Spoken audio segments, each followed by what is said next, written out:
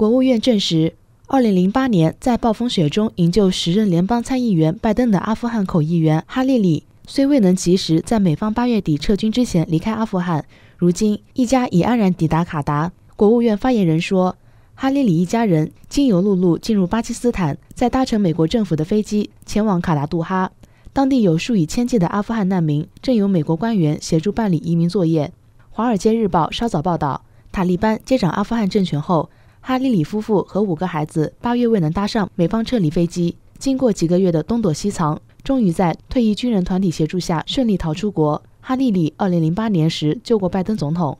时任参议员的拜登当时和参议院同僚黑格、凯瑞一同造访阿富汗，期间遭遇暴风雪，他们的直升机被迫降在偏远地区。当时担任美军口译员的哈利里加入军事营救行动，他们驾车深入山区救出拜登一行。据《华尔街日报》报道。国务院将以快速通关计划提供哈利里一家移民签证，尽快来美国。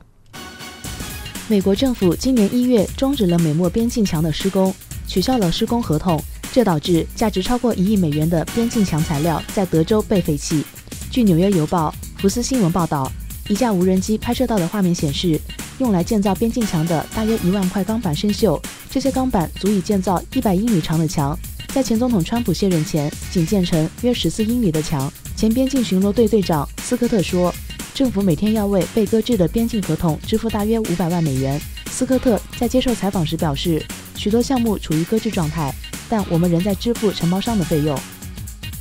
中国国家主席习近平今天宣布，中国将首度设立国家公园，其中三江源、大熊猫、东北虎豹、南海热带雨林、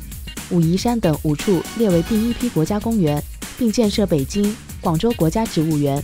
官媒央视新闻报道，习近平下午以视讯方式出席生物多样性公约大会领导人峰会，并发表主旨讲话时作出上述宣布。习近平表示，为加强生物多样性保护，中国正加快建构以国家公园为主体的自然保护地体系，逐步把生态系统最重要、自然景观最独特、生物多样性最富集的区域纳入国家公园体系。他宣布，中国正式设立三江源、大熊猫、东北虎豹、南海热带雨林。武夷山等第一批国家公园，保护面积达二十三万平方公里，涵盖近百分之三十的中国国家重点保护野生动物、植物种类。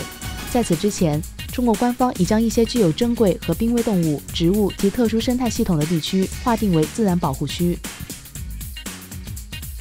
俄罗斯东部军区新闻处昨天通报说，俄太平洋舰队旗舰瓦良格号导弹巡洋舰。和特里布茨海军上将号反潜舰演习期间，在日本海共发射了十枚导弹。通报说，小型反潜舰发射了巡航靶弹。瓦良格号防空系统发现目标后进行追踪，并迅速使用防空导弹将其成功摧毁。瓦良格号和特里布茨海军上将号还使用防空导弹击毁了从小型反潜舰发射的靶弹。